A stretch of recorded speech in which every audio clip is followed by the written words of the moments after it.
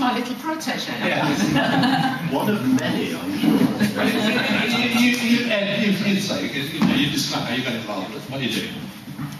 Stop me when I go on too long. Two, two because, uh, minutes, two minutes. It, it's a pleasure to be here this evening. Not only did I drive Iqbal up from Bristol, and it's the first time we've had to have a conversation in oh, several months, so we had a lot of catching up to do.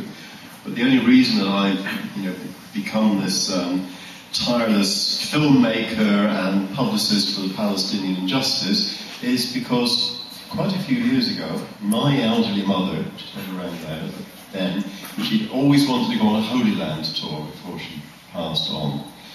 And she wanted her son to come with her. And, um, sorry, I, I'm an atheist, and it wasn't really top of my list of things to do. How wrong I was, as I learned so much from um, being on Joe's tour. And not that she forced it on people, she was actually extremely neutral and extremely fair and factual in everything she said. But when you pointed something out, why are those cars parked by the side of the road? Why are those people having to get out of the cars and go between those concrete blocks to go somewhere else? And we've just driven straight through on the road. What's it all about? And that was before the wall.